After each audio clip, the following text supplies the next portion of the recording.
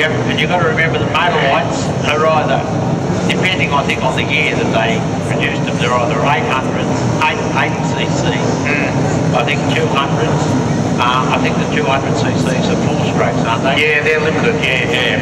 And, uh, but basically it's 150s and 100s and 80s. And of course the 80s are the late model Marawatis and things, but they're, they are just awesomely quick.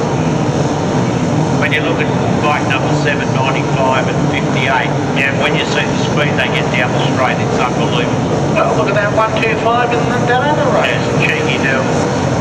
Okay, they're in the hands of the starters. Let's see who's going to get the holeshot.